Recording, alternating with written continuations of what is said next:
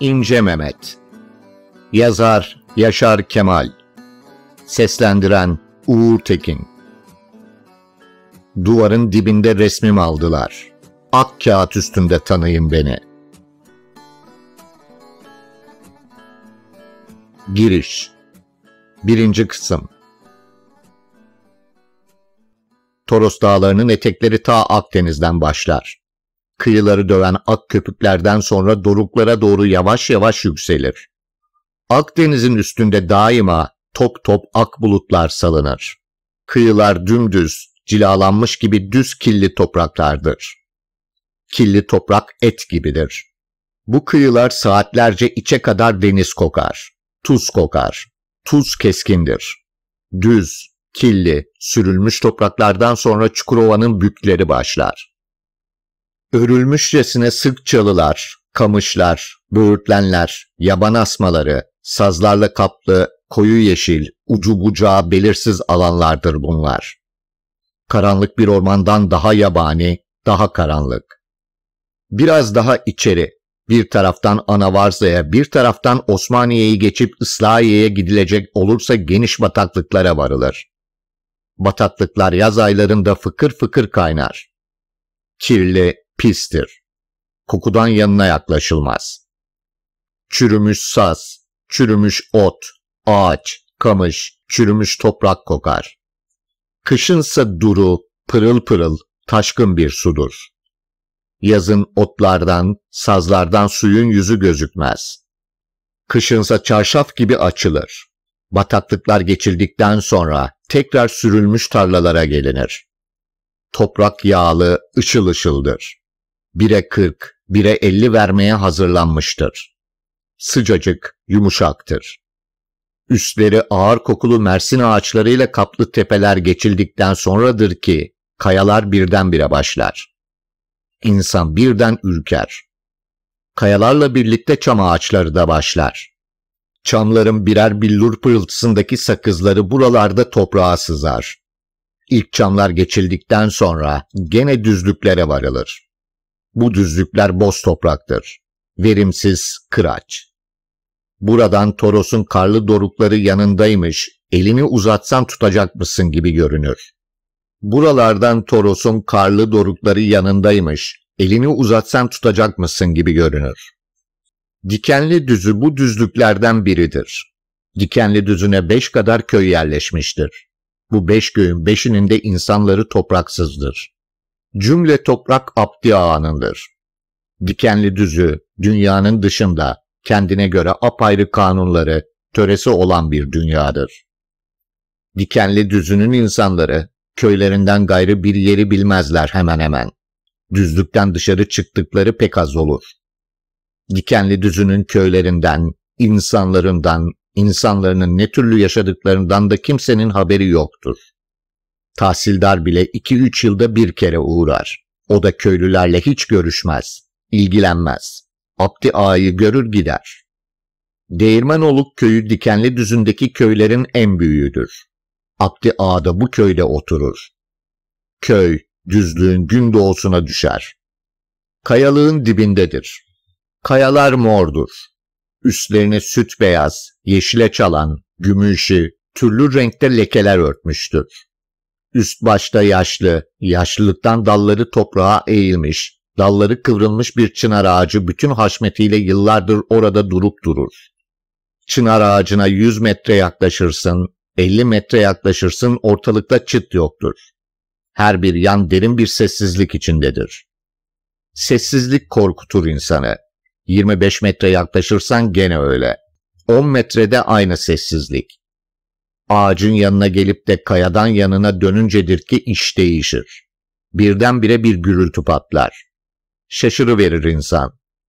İlkin kulakları sağır edecek derecede çoktur. Sonra iner, yavaşlar.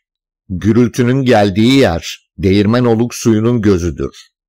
Göz değildir ya, bura halkı oraya suyun gözüdür der. Öyle bilir. Bir kayanın dibinden köpükler saçarak kaynar. İçine bir ağaç parçası atılırsa bir gün, iki gün, hatta bir hafta suyun üstünde oynadığı görülür. Döndürür. Bazıları iddia ederler ki kaynayan su üstünde taşı bile oynatır, batırmaz. Halbuki suyun gözü burası değildir. Ta uzaklardan, çamlar arasından yarpuz, kekik kokularını yüklenerek Akçadağ'dan gelir. Burada da bu kayanın altından girer, köpürerek, kaynayarak bir delice homurtuyla öbür ucundan çıkar. Buradan Akçadağ'a kadar öyle kayalık, öyle sarptır ki Toros, bir ev yerinden daha büyük bir toprak parçası görülemez. Ulu çamlar, gürgenler kayaların arasından göğe doğru ağmıştır. Bu kayalıklarda hemen hemen hiçbir hayvan yoktur. Yalnız o da çok seyrek, akşam vakitleri keskin bir kayanın sivrisinde boynuzlarını, büyük çangallı boynuzlarını sırtına yatırmış bir geyik, bacaklarını gerip sonsuzluğa bakarcasına durur. İkinci kısım Çakır dikeni en pis, en kıraç toprakta biter. Bu toprak ki bembeyaz, peynir gibidir. Ot bitmez, ağaç bitmez, eşek inciri bile bitmez. İşte orada çakır dikeni keyifle, serile serpile biter, büyür, gelişir. En iyi toprakta bir tek çakır dikenine rast gelinmez. Bunun sebebi bir kere iyi toprak boş kalmaz. Her zaman sürülür, ekilir. Bir de öyle geliyor ki çakır dikeni iyi toprağı sevmez. Ne iyi ne kötü boş bırakılmış orta halli toprakta da biter çakır dikeni. Çakır dikenini söker, yerine ekerler. Toros eteklerinin doruklara yakın düzlükleri bu minval üzeredir. En uzun çakır dikeninin yüksekliği bir metre kadar olur. Bir sürü de dalları vardır. Dallar dikensi çiçeklerle donanır. Bu çiçekler beş perli, yıldız gibi, uçları sert, sivri iğnelerin ortasındadır. Her çakır dikeninde bunlardan yüzlerce bulunur. Çakır dikeni bittiği yerde bir, iki, üç, dört tane bitmez. Öyle üst üste, öyle sık biter ki arasından yılan geçemez. İğne atsan çakır dikeninden yere düşmez. Baharda zayıf, açık yeşildir. Hafif bir yel esse, toprağa değecekmiş gibi yatar. Yaz ortalarında dikende önce mavi damarlar peydah olur. Sonra yavaş yavaş dikenin dalları, gövdesi mavileşir. Açıkça bir mavidir bu. Sonra mavi gittikçe koyulaşır. Bu en güzel bir mavidir. Bir tarla, uçsuz bucaksız bir ova tüm maviye keser. Gün batarken eğer bir yel eserse mavi dalgalanır, hışırdar. Aynen deniz gibi. Gün batarken sular nasıl kızarır, çakır dikeni tarlası da öyle kızarır. Güze doğru dikenler kurur, mavilik beyaza döner. Çatırtılar gelir çakır dikeninden. Düğme büyüklüğünde süt beyaz sümüklü böcekler vardır hani. Bunlardan yüzlercesi, binlercesi dikenlerin gövdelerine sıvanır. Diken gövdeleri boncuk boncuk süt beyaz olur. Değirmen oluk köyü çakır dikenlik. Tarla yok, bağ, bahçe yok. Safi çakır dikenlik. Çakır dikenliğin içinden koşan çocuk soluk soluğaydı. Çoktan beridir ki durmamacasına koşuyordu. Birden durdu. Bacaklarına baktı. Dikenlerin yırttığı yerden kan sızıyordu. Ayakta duracak hali yoktu. Korkuyordu. Ha yetişti, ha yetişecekti. Korkuyla arkasına baktı. Görünürlerde kimsecikler yoktu. Ferahladı. Sağa saptı. Bir zaman koştu. Sonra yoruldu. Yorulunca çakır dikenlerinin içine yattı. Sol yanında bir karınca köresi gördü. Karıncalar iri iri, körenin ağzında cıvıl cıvıl kaynaşıyorlar. Bir zaman her şeyi unutup karıncalara daldı. Ve birden aklına gelince sıçradı. Sağa saptı. Biraz sonra da dikenlikten çıktı. Dikenliğin kıyısına dizleri üstü çöktü. Baktı dikenliğin üstünden başı gözüküyor, kıçı üstü oturdu bu seferde. Bacakları kanıyordu. Kan sızan yerlere toprak ekelemeye başladı. Toprak yaralara düşünce yaktı. Kayacıklar azıcık ötedeydi. Kayalıklara doğru var gücünü harcayarak yeniden koşmaya başladı. En yüksek kayanın altındaki çınar ağacına vardı. Ağacın dibi bir kuyu gibi derinlemesineydi. Sapsarı, altın renkli, Kırmızı damarlı yapraklar ağacın dibini doldurmuş, gövdeyi yarı beline kadar örtmüştü. Kuru yapraklar hışır hışır ediyordu. Gitti, kendisini yaprakların üstüne attı. Çınarın çıplak dallarından birisinin en ucunda bir kuş duruyordu. Çatırtıyı duyunca uçtu gitti. Yorgundu, bitmişti. Burada, bu yaprakların üstünde gecelemeyi geçirdi aklından. Yumuşacık, oturduğu yerden kalkamayabilirdi. Sonra, olmaz dedi kendi kendine. Adamı kurt kuş yer.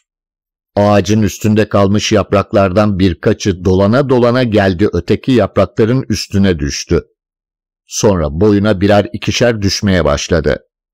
Kendi kendine konuşuyordu. Sesli sesli konuşuyordu.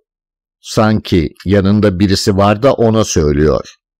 Giderim diyordu. Giderim bulurum o köyü. Kimse bilmez oraya gittiğimi.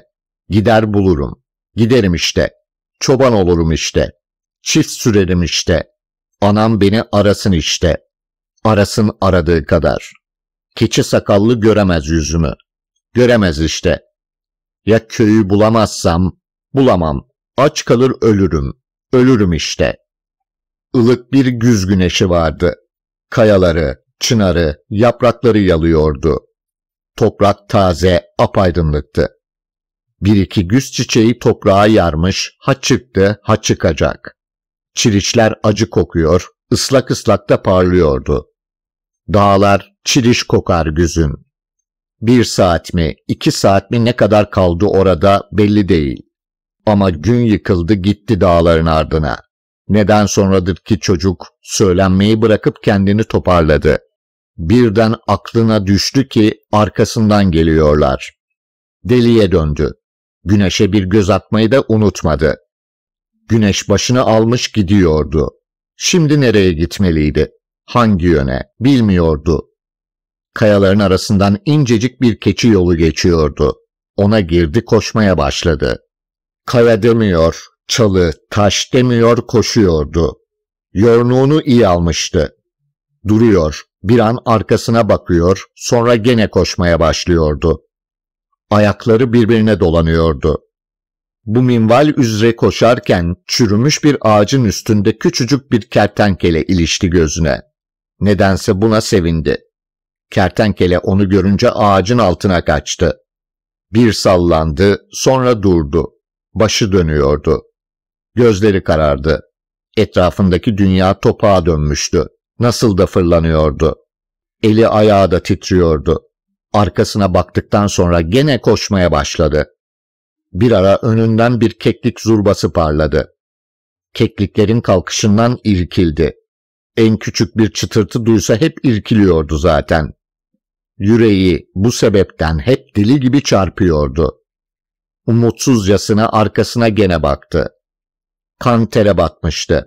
Dizlerinin bağı çözüldü. Yere oturuverdi. Düştüğü yer ufacık taşlı bir yamaçtı. Ekşi ekşi bir hoş ter kokuyordu. Burnuna tatlı bir çiçek kokusu geldi. Gözlerini zorla açabildi. Başını ağır ağır, korka korka kaldırdı aşağılara baktı. Gün battı batacaktı. Gölgeler öylesine uzamış. Aşağıda hayal meyal bir toprak dam gördü. Sevinçten yüreği ağzına geldi. Evin bacasından duman da çıkıyordu. Duman ağır ağır salına salına çıkıyordu. Duman bir kara duman değildi. Dumanın rengi hafif mora çalıyordu. Arkasında ayak sesine benzer bir patırtı duydu. Başını hızla çevirdi. Sol yanında orman kapkara kesilmiş bir sağanak gibi gökten yere iniyordu. Orman üstüne üstüne geliyordu. Gene konuşmaya başladı ama bağıra bağıra konuşuyordu. Hem ormandan kaçarcasına aksi yöne yürüyor, hem olanca gücüyle giderim derim ki onlara, giderim derim ki size derim, size çoban olmaya geldim, çift de sürerim, ekin de biçerim, derim ki benim adım mıstık derim, kara mıstık. Anam yok, babam yok, abdi ağam da yok derim. Sizin davaranızı güderim, sizin çiftinizi sürerim, sizin çocuğunuz da olurum. Olurum işte. Benim adım İnce Mehmet değil. Kara mıstık derler bana. Anam ağlasın. Olurum işte. Gavur Abdi Ağa'da arasın beni. Çocukları olurum işte. Sonra bağıra bağıra ağlamaya başladı. Karanlık orman akıyordu. Ağladıkça ağlıyordu.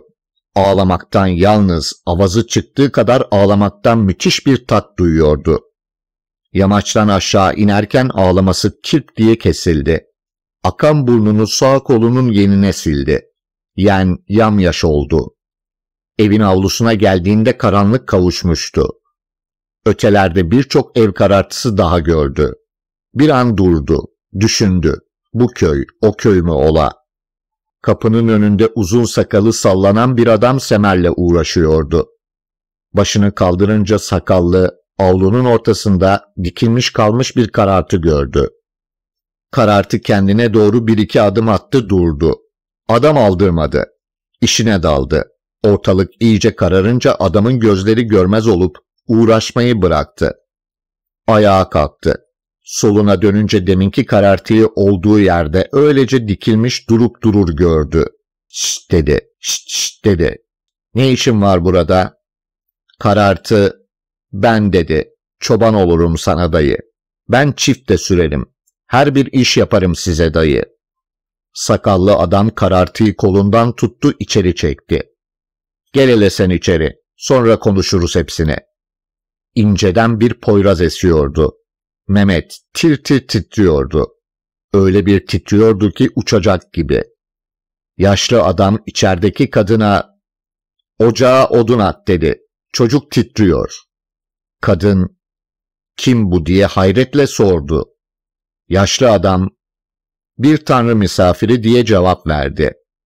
Kadın misafirin hiç de böylesini görmedimdi diye bıyık altından gülümsedi. Yaşlı adam Gör işte dedi. Çocuk ocağın soluna, duvara iyice yapıştı, büzüldü. Çocuğun kocaman bir başı vardı. Düz, güneşten solup kırmızı olmuş kara saçları alnına, yüzüne dümdüz dikine düşüyordu. Yüzü ufacıktı. Kupkuru bir yüzdü. Gözleri kocaman kahverengiydi. Teni güneşten yanmıştı. On birinde gösteriyordu. Dize kadar da şalvarını çalı yemişti. Bacakları bu sebepten çıplaktı. Ayakları da yalındı. Bacaklarında kan kuruyup kalmıştı. Ateşin çok iyi yanmasına rağmen titremesi durmuyordu. Kadın, yavru dedi, sen açsın. Dur sana çorba koyayım da iç. Çocuk, içerim dedi. Kadın, ısınırsın dedi. Çocuk, titremem durur dedi. Kadın ocakta ateşin yanı başında duran kocaman bir bakır tencereden kalaylı bir sahana dövme çorbası doldurmaya başladı. Çocuğun gözleri tenceredeki buğulanan çorbaya dikildi. Kadın çorbayı getirip önüne yerleştirdi.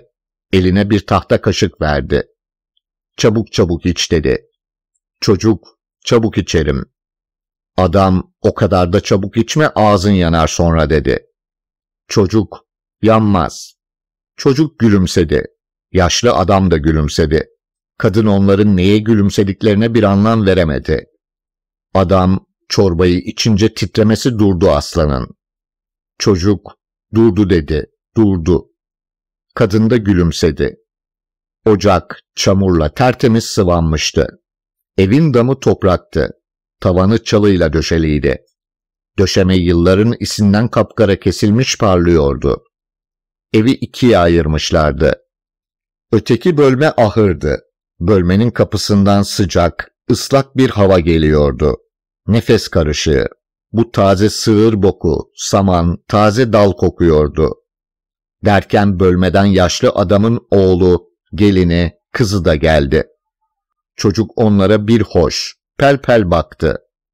Yaşlı adam oğluna, misafirimize hoş geldin desene dedi. Oğul gayet ciddi. Hoş geldin kardeş dedi. Ne var ne yok. Çocuk hoş bulduk diye aynı ciddiyetle cevap verdi. İyilik sağlık. Kız da gelin de hoş geldin dediler. O arada ocaktaki kütük yanmış, tüm yalıma kesmişti. Çocuk ellerini koynuna sokmuş büzülmüştü. Yaşlı adam geldi çocuğun yanına oturdu. Ocağın gür yalımları arkalarına tuhaf gölgeler düşürüyordu.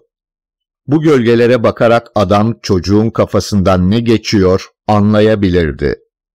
Yaşlı adam da uzun zaman bir yerde durmayan, yalımlara göre yer değiştiren gölgelere gözünü dikti. Gözlerini gölgelerden ayırdığında gülümsüyordu. Yaşlı adamın yüzü uzun, inceydi. Sakalları süt beyaz, değirmeydi. Alnını güneş yakmıştı. Bakır rengindeydi.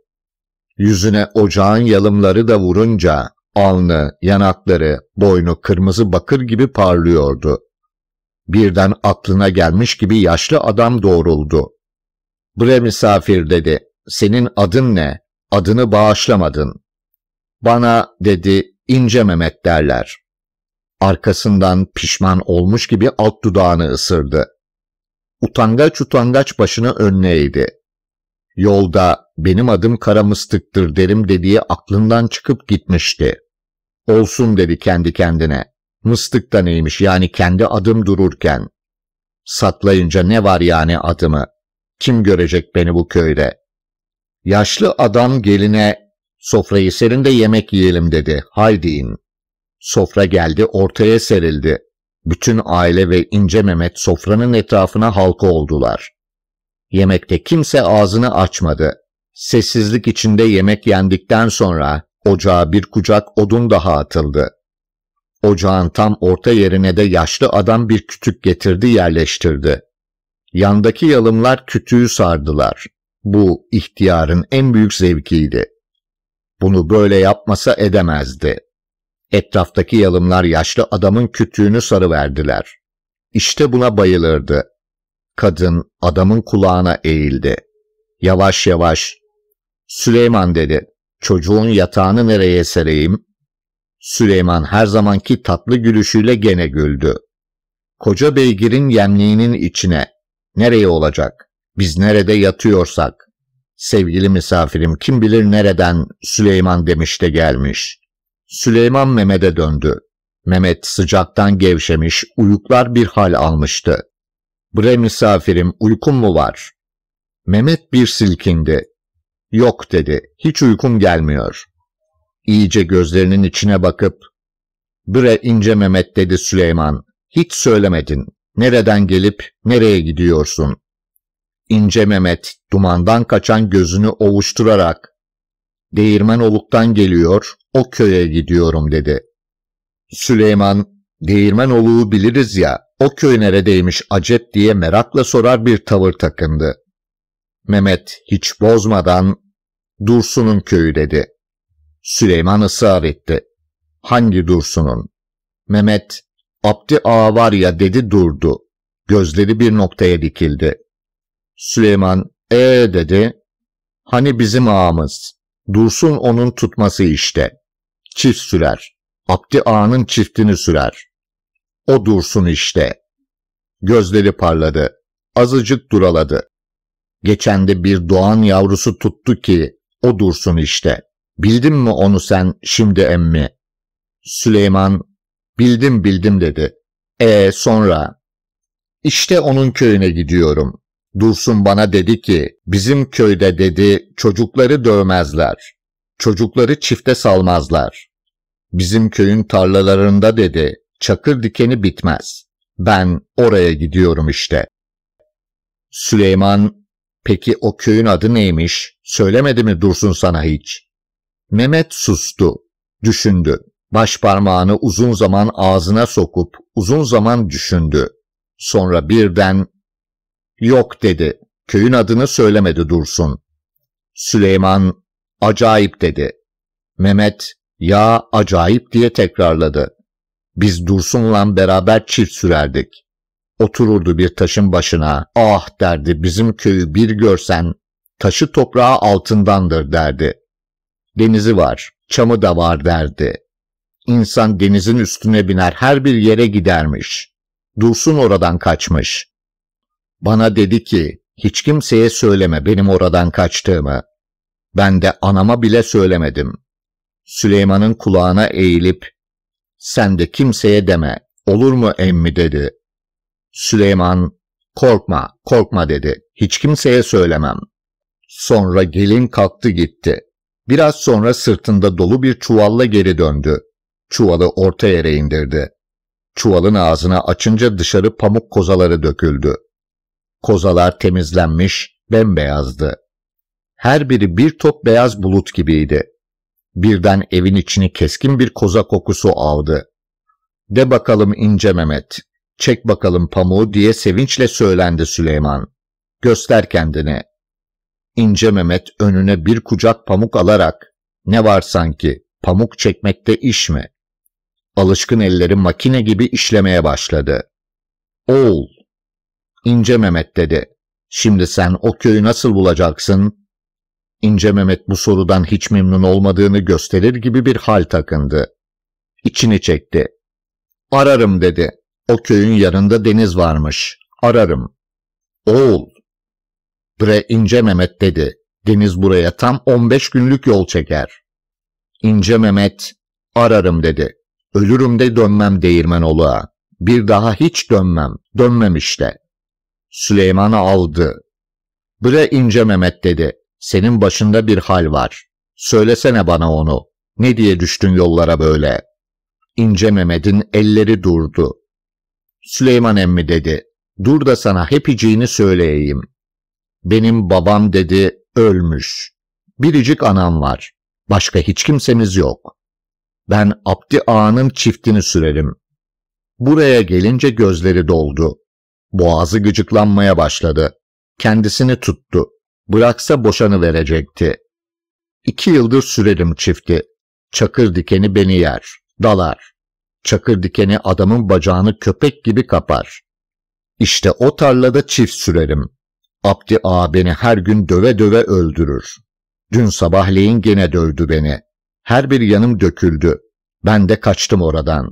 O köye gideceğim. Beni orada bulamaz Abdi ağa. O köyde bir adamın çiftini sürerim. Çobanı olurum. İsterse oğlu da olurum. Oğlu da olurum derken Süleyman'ın gözlerinin içine iyice baktı. Mehmet dolmuştu. Bir kelime daha söylese boşanacaktı. Onun için Süleyman Abdi Ağa lafını değiştirdi. Bana bak ince Mehmet, madem böyle sen benim evde kalsana. İnce Mehmet'in yüzü ışıldadı. Bir sevinç dalgası onu tepeden tırnağa ürpertti. Oğul, deniz çok uzak ince Mehmet. O köyde kolay kolay bulunmaz. Pamuk çekildi, bitti. Ortalığı pamuktan düşen böcekler sarmış, telaşlı telaşlı oraya buraya gidiyorlardı. Kara, küçücük pamuk böcekleri. Ocağın bir başına da küçük bir yatak serdiler. Mehmet'in gözlerinden sıcak bir uyku akıyordu. Yatağa hasretle ürpertiyle baktı. Süleyman Mehmet'in durumunu çoktan sezmişti. Gir diye yatağa işaret etti. Mehmet hiçbir şey söylemeden büzülerek yatağa sokuldu. Dizlerini göğsüne çekti. Her tarafı havanda dövülmüş gibi ağrıyordu. Mehmet kendi kendine içinden oğlu olurum, olurum işte. Anam arasın, Abdi ağa arasın, arasınlar işte. Kıyamete dek arasınlar, dönmem işte diyordu.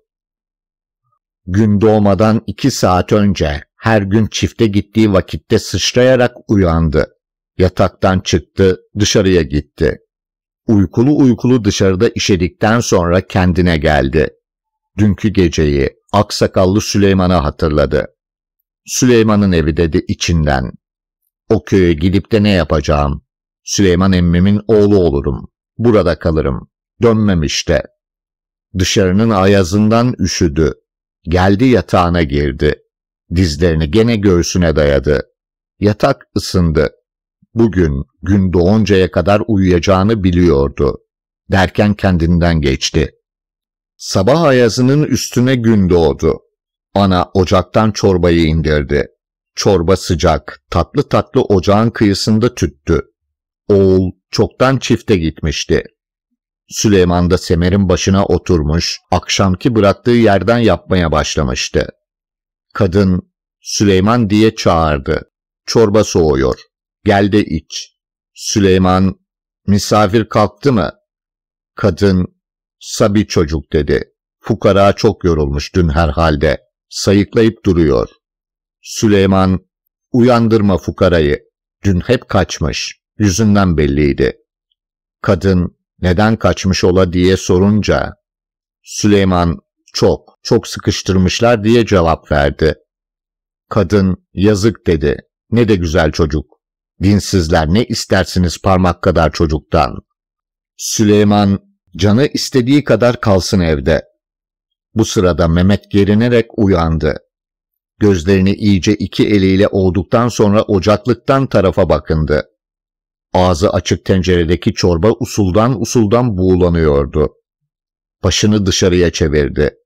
Kapıdan içeri bıçakla kesilmiş gibi bir güneş şeridi uzanıyordu. Hemen yerinden sıçradı. Süleyman Mehmet'in telaşını görünce, ''Korkma yavrum'' dedi. ''Zararı yok. Uyu.'' Mehmet döndü, ocaklıktaki bakır ibriği aldı dışarı çıktı. Yüzünü bol suyla yıkadıktan sonra Süleyman'ın başına dikildi. Onun semer onarmasını seyre başladı. Kadın, gelin de çorbanızı için, çorba soğudu diye tekrar çağırdı.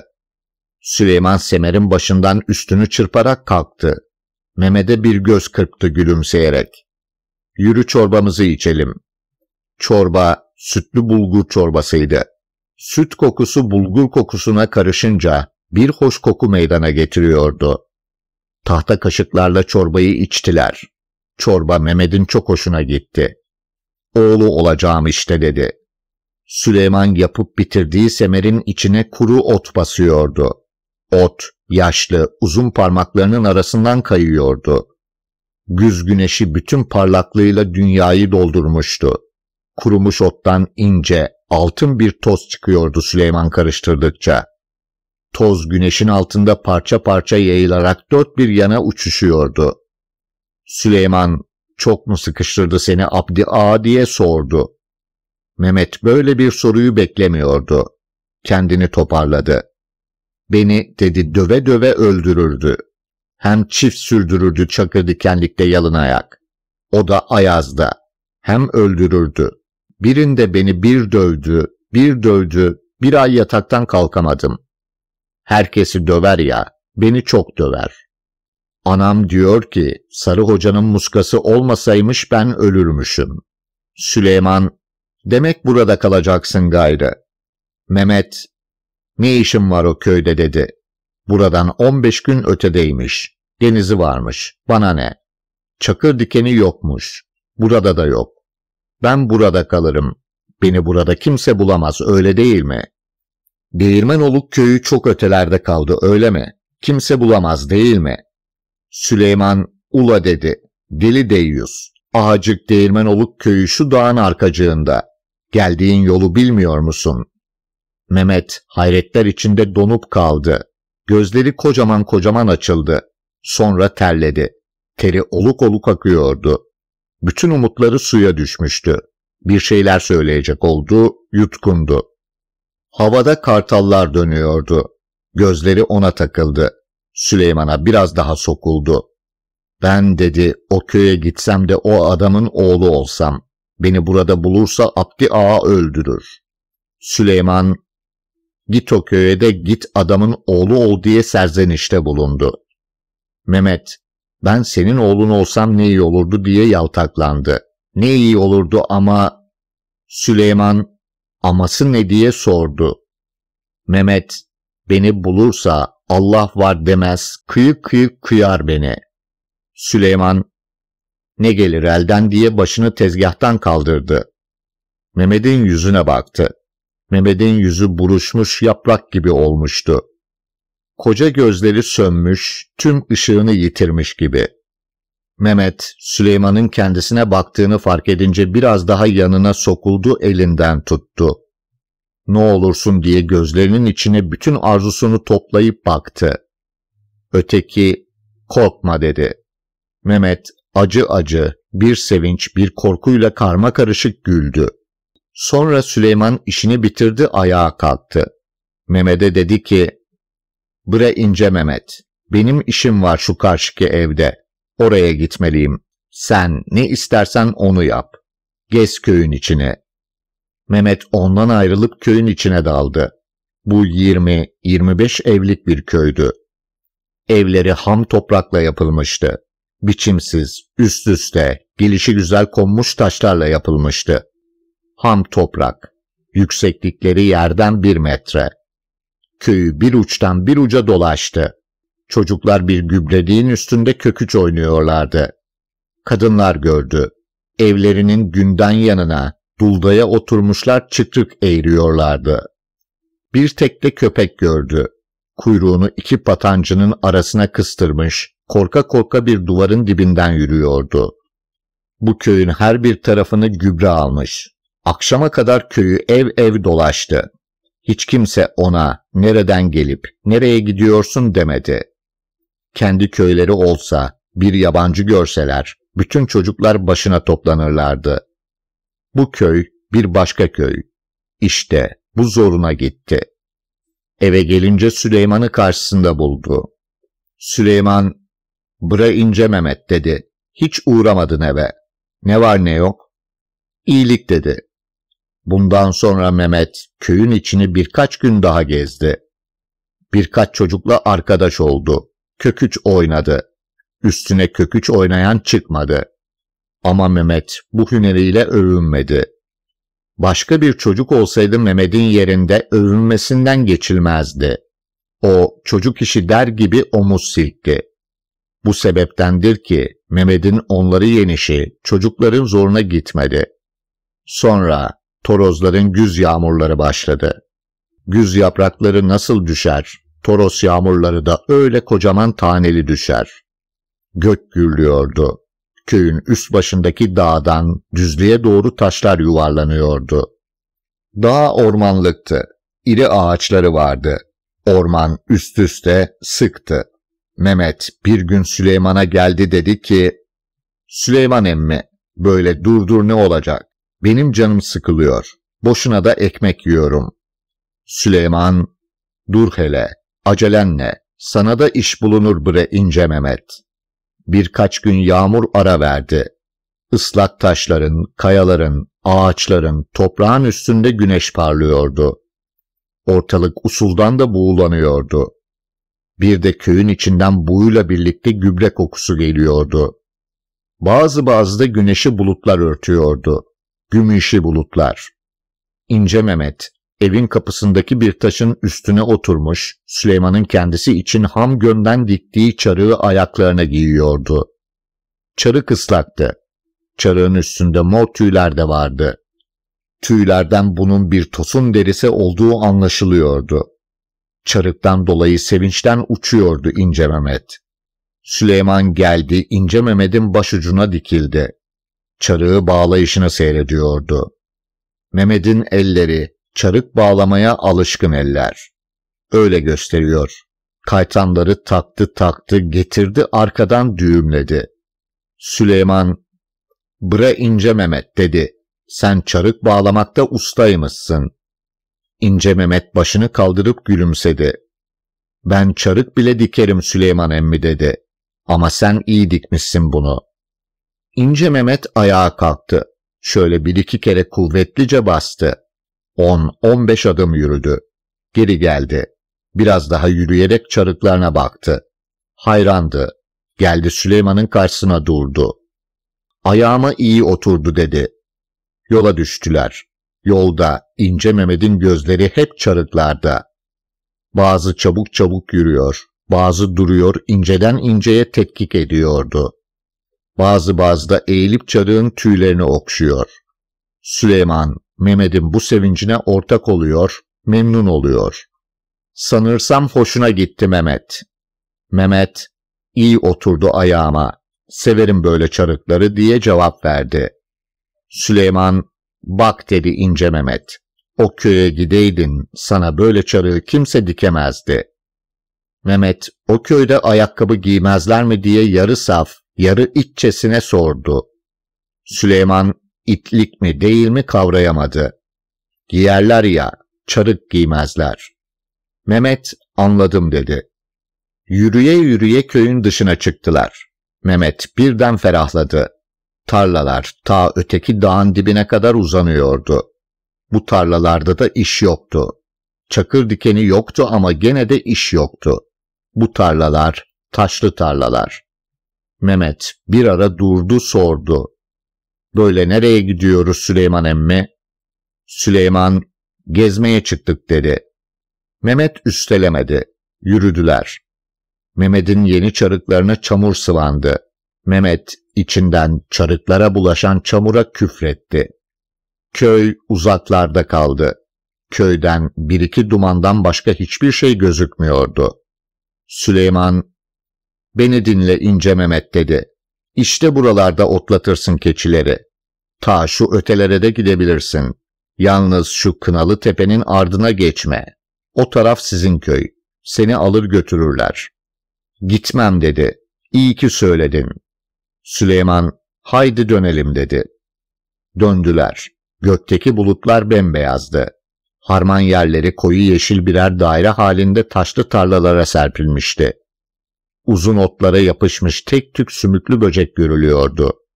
Süleyman, bre ince Mehmet dedi.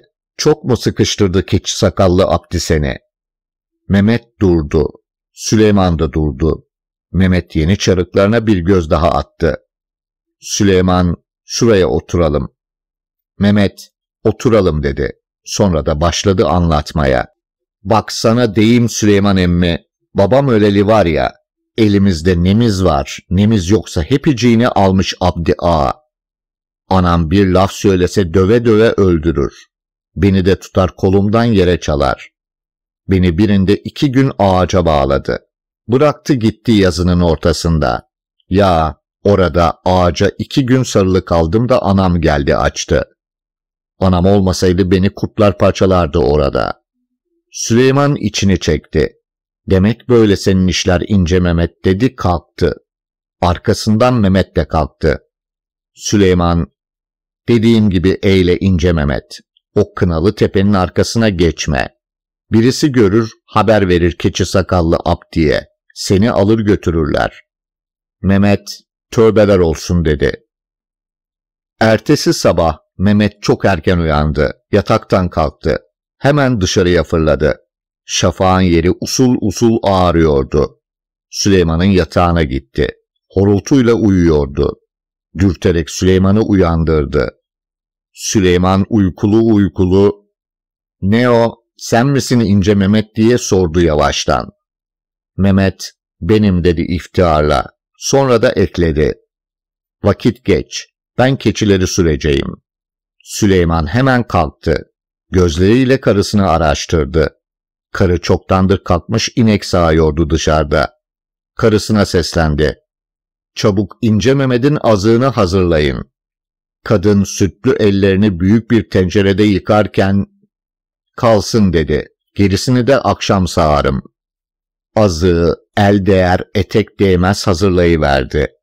Ocakta kaynamakta olan çorbadan da çorba koydu Mehmet'in önüne. Mehmet çorbayı bir anda sömürdü. Gözle kaş arası azığı beline bağladı. Keçileri önüne kattı.